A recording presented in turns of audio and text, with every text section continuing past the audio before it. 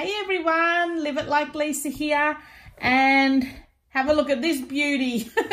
As you can see in today's video, I will be attempting to do some sewing. now, if any of you have been following me for a little while, you'll know I'm not a sewer. So this is going to be super basic for the people that don't sew and can't sew. This is the video for you because I am one of those people.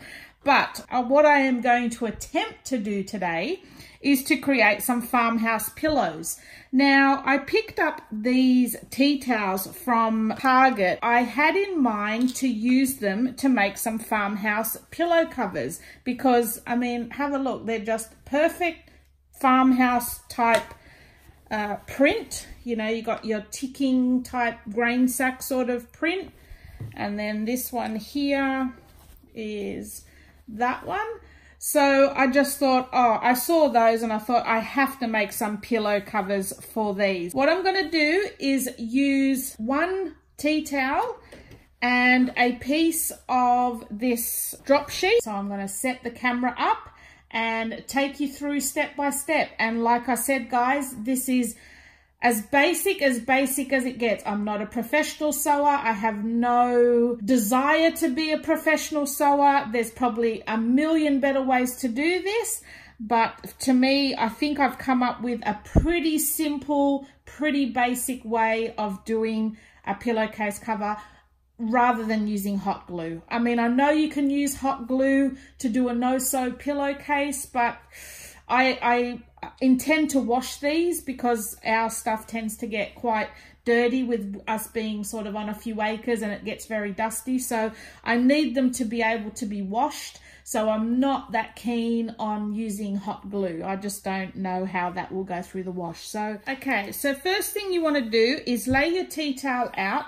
You can iron this if before you start if that makes you feel better. It, i mean i'm not because i'm lazy. Lay your tea towel flat on the table with the back of the tea towel facing down. So where you've got your tag and your seams going in have that facing down.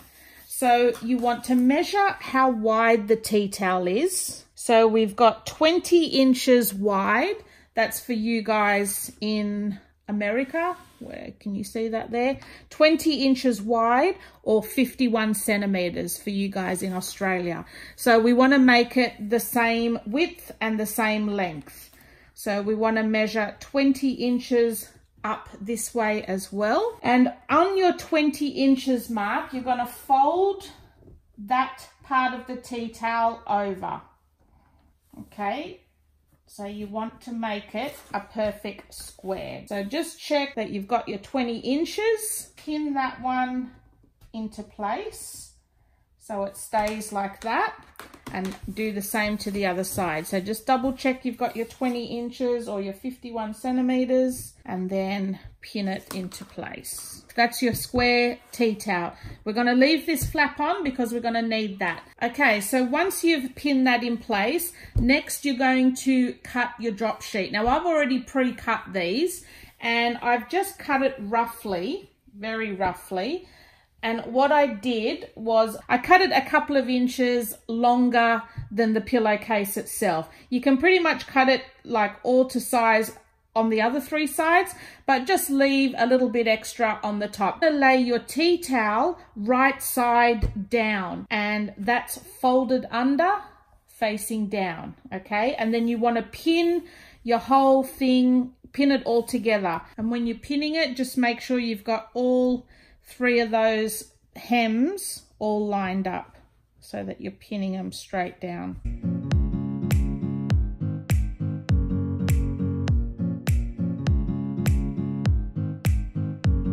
Okay, now that it's all pinned, all we're going to do now is sew along the three edges and we're going to leave this flap open, the one where you've folded the tea towel under.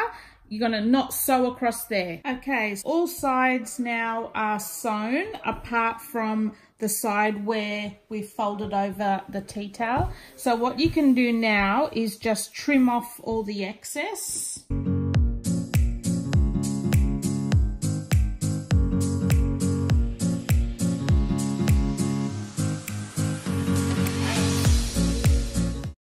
Okay, so now we're left with that. Now turn it inside out or turn it the right side out.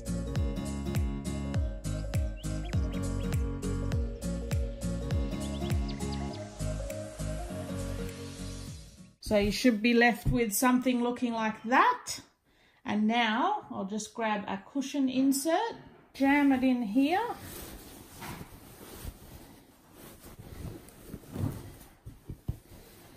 Now, fold that flap under there and then turn this flap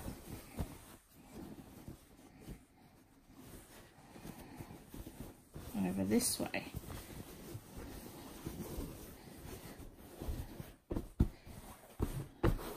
So that's what you're left with. You've got your tea towel on that side and your uh, drop cloth on this side with a nicely finished seam using the tea towel seam on that side.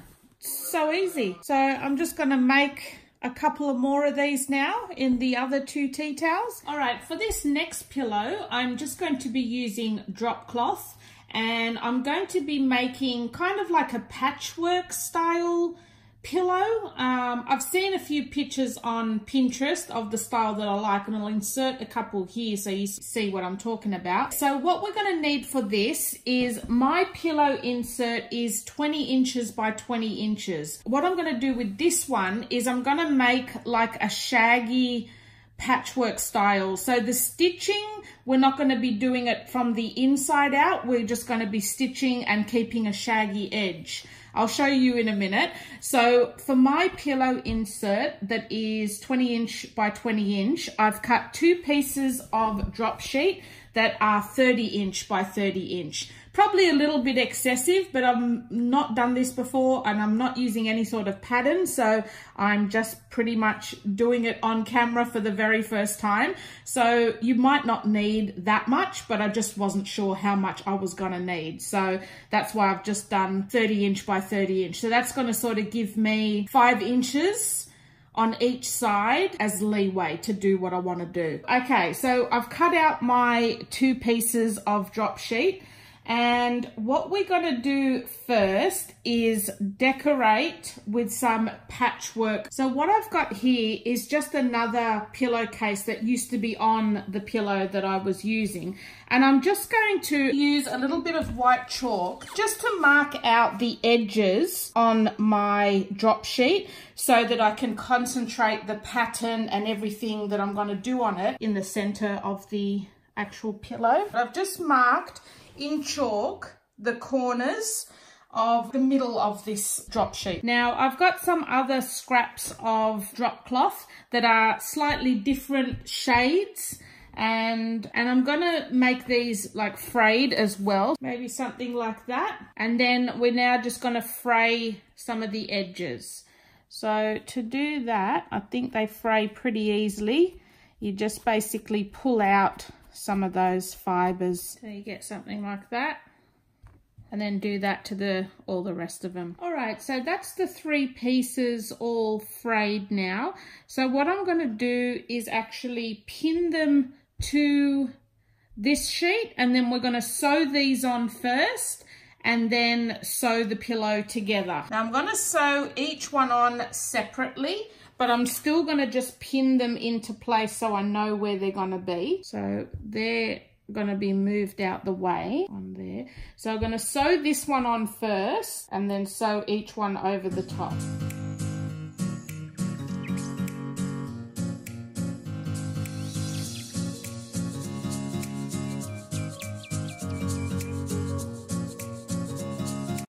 All right, so we've got our design all stitched on. So for me, that's going to be the top. This is the bottom. What we're going to do now, create a flap in the pillowcase. So here's a standard pillowcase. So see how it's got a flap on the inside so that you can tuck your insert under that and it's not seen. What I'm going to do now is just sew that flap on. Here's the top. We're going to flip it over and I've just cut an extra piece of the drop sheet and we're just going to align it to the top and sew this flap straight across the top. So when we put the back sheet on, we're only going to sew the three sides of the back sheet, if that makes sense. And then this is going to create the little frill. And I'm just pinning it roughly where I want to actually sew. I'm just going to sew a straight line across the top there. See, my problem is I have a thing in mind of what I want it to turn out to look like, but a lot of the times I don't actually know how I'm going to do it. so I keep winging it until I get there. Most of the time it turns out, but yeah, sometimes not. I'm not going to start right on the edge. I'm going to probably start about here.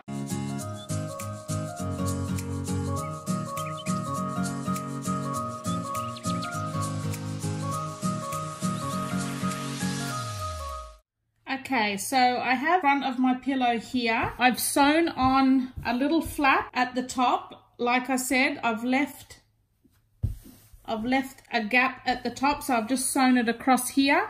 And now we're going to sew the backing piece on to this one. My backing sheet is going to come on top. Okay, so this is what you should be left with. So you've got your sides all sewn there. This is the top.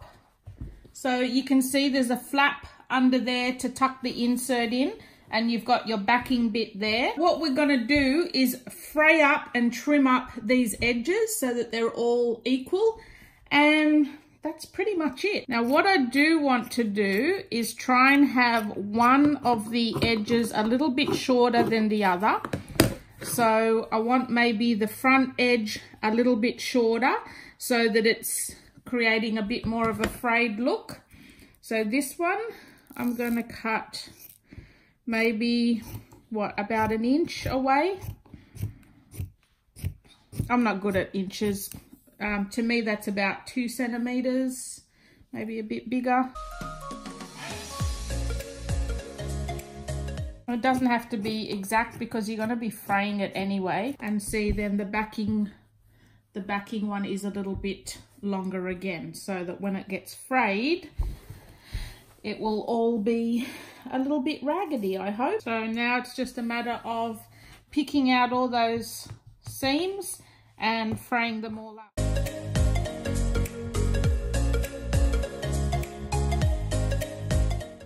So here's the finished pillow. I'm really, really happy with the way it's turned out. Now you can see what I mean by the shaggy edges. I have one a little bit shorter than the other. And yeah I've just like spent took me a long time to fray all the edges but no I'm really pleased with the way that's turned out. So this is the top now. Let's try and show you. So here's the top. We've got the flap that fits over the insert and then that bit just closes like a regular pillowcase and we've still got some fringing at the top there. So here's all the pillows now on the sofa. I'm really happy with the way they've turned out. That's that's kind of the look I was going for, like that sort of shabby farmhouse type style. I've made a couple of bigger ones here, same sort of the same way I've done the smaller ones. So I've got the smaller ones with the flap of the tea towel going over the top. Then I've done these ones more like a pillowcase style. So I have the flap going on the inside and they're double-sided as well. So I've got the ticking stripe on the back and then just the drop cloth on the front. And um, yeah, they're really nice, comfy pillows to snuggle up with now and same with that one. So these three are the big sort of squarish pillows and then these little ones are the tea towel ones. And then I've got another tea towel one over there as well. And this one's the same, ticking on the back and that there. Now I may even go back and do some sort of stenciling on these plain ones, but for now I just like the plain look, um, that sort of shabby sort of farmhouse feel. I'm really, really happy with this one. I love it. I just, I don't know if it's coming off on camera, but each one of these pieces is a different shade. So I just really like how subtle that looks and all the fringing and the frill all around. So yeah, really happy with that. Well, I hope you enjoyed that video, guys. I know my instructions were pretty, pretty terrible because honestly, when it comes to sewing, I've got no clue what I'm doing. I don't have a pattern. I just wing it and hope for the best. So they all turned out pretty good this time. I hope you enjoyed this video, guys, and I will see you in my next one. Thanks for watching.